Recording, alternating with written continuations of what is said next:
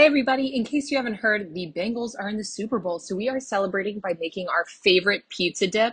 Uh, basically, there are three layers in this dip. We have a nicely seasoned cream cheese layer with our absolute favorite truff, black truffle hot sauce. We have a simple tomato sauce layer that you could totally use for any kind of pizza or pasta that you are making. It's really nice and fresh. Uh, and we added some pepperoni in. You could really add any topping, but we know that this is a crowd favorite.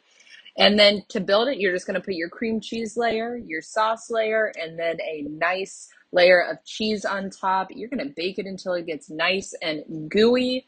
And then you're going to serve it with crackers or crostini or just eat it with a spoon. Uh, but the one thing you cannot uh, go without is the truff. It really just takes it up to the next level. So go Bengals, Who Dey, and go Super Bowl food.